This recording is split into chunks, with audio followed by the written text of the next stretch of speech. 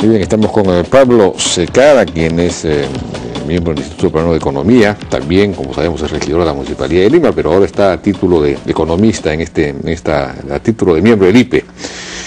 Eh, rápidamente, el asunto este, bueno, se aprobó esta ley que crea el sistema de seguridad energética en hidrocarburos, y el Fondo de Inclusión Social Energético, se anunció eh, eh, eh, ya una tercera versión, un nuevo gasoducto, distinto, ya no es el de Cuntu, tampoco es el gasoducto o el etanoducto por la costa, sino es uno distinto que aparentemente ya va a ser pues financiado, no sé, por el Estado, por nosotros, por los usuarios, con una licitación pública. ¿Cuál es tu impresión? ¿Cómo, ¿Qué tiene sentido este proyecto? ¿En qué consiste para comenzar este proyecto? Bueno, Camisea es cada vez más como sea, es una tragicomedia de errores, ¿no? La cantidad de cosas que hace el Estado con Camisea desde los 80 es una tras otra, ¿no? todos los huecos que hay en la calle meten el pie adentro, ¿no? Este, hay varios temas acá. El tema de seguridad energética, que ha salido en el reporte de inflación y ha sido comentado por los medios de la mañana de hoy día, para que más o menos tengas idea del tamaño del problema. Si se interrumpe el flujo de gas, en, un, en 10 días se pierde un punto del Producto Bruto Interno Así de simple. El 37% de la oferta de electricidad este, no tiene cómo seguir. En parte porque no se hicieron plantas duales, o sea, se han hecho plantas de ciclo simple al comienzo porque el gas está tan barato, desperdiciando gas, recién después de ciclo combinado, pero no duales. O sea, si no tienes gas, la tienes que apagar. Cuando lo, correcto es hacer ciclo combinado dual. ¿Dual qué significa dual? Que puede usar diésel también. Ah, ya. Entonces, en el peor de los casos, te sale más cara la electricidad, pero tienes electricidad. Entonces, hay un tema de seguridad energética grave. Hay un tema de seguridad para actuar. Quien sea que quiera hacer el ducto, lo vaya a hacer Electroperú y Petroperú y el Estado y vayan a licitarlo como ahora, lo iba a hacer Kuntur, iba a hacer un etanoducto, como quiera que sea, desde Malvinas hasta un poco más metido en el Cusco, no puedes operar. Los que están haciendo el loop pequeñito de TGP de 55 kilómetros sostienen que hay que meter entre 4 y 5 mil soldados para poder hacer ese loop. Un loop es, una, es un arito, es una vueltita que tienes que hacer para, para que haya más seguridad en el trazado del ducto por temas geológicos.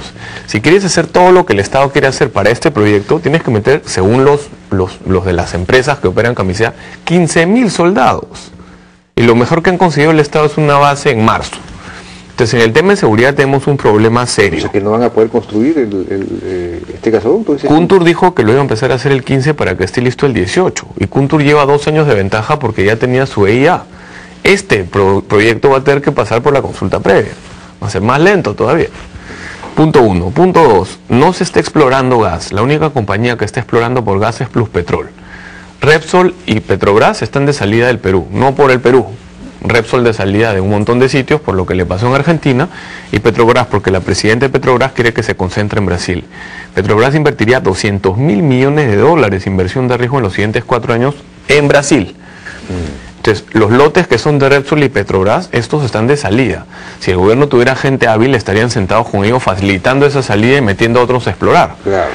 Y Hunt no puede explorar porque no tiene permisos.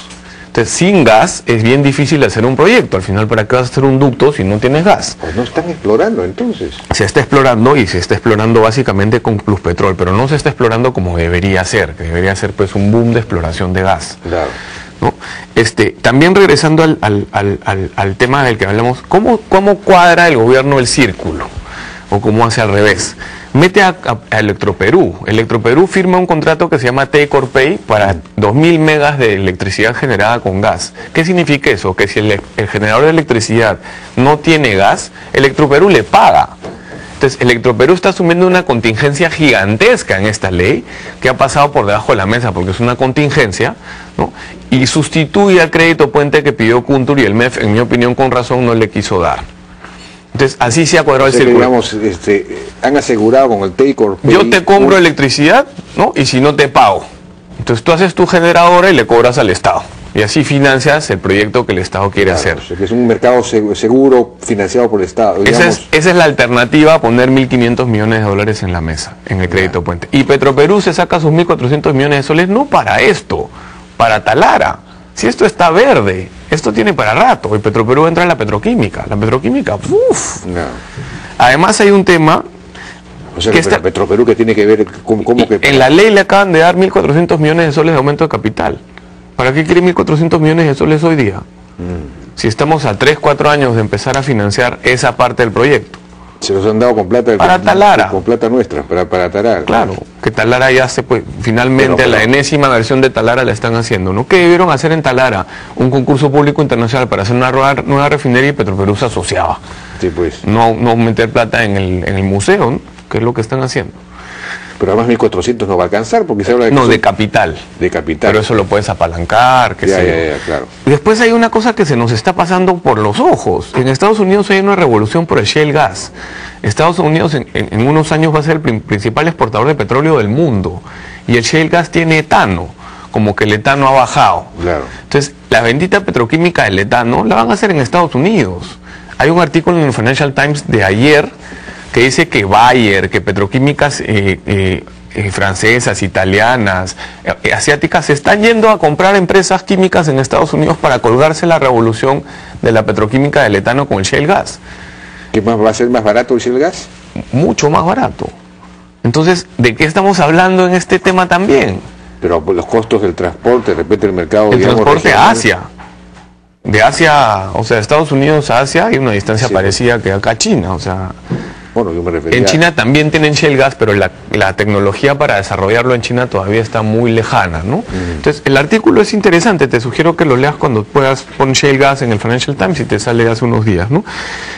Otro tema, ¿te acuerdas de cuando se cae Shelly Mobile, el proyecto de Shelly Mobile, entran estos famosos eléctricos, los discípulos de Manuel Quillán, que quieren el gas barato para que la electricidad sea barata, y eso era camisea. La petroquímica que había pensado Shell no era relevante, eso de exportarle gas a Brasil por un tubo era trivial, había que bajar la electricidad.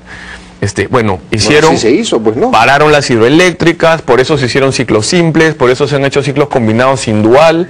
Todas esas brutalidades surgen de este diseño de camisea, que se le llamó en ese momento como sea. Pues resulta que siguen metidos. Luis Espinosa, que está en Ocinermin, está asesorando al ministro Merino en este tema. Él, que está regulando supuestamente el precio del gas, está diseñando todo este gran proyecto.